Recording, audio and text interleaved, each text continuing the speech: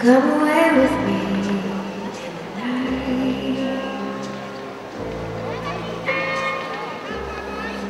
Come away with me and I will write you soon.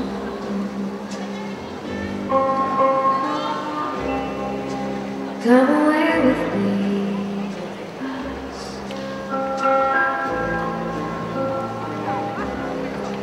Come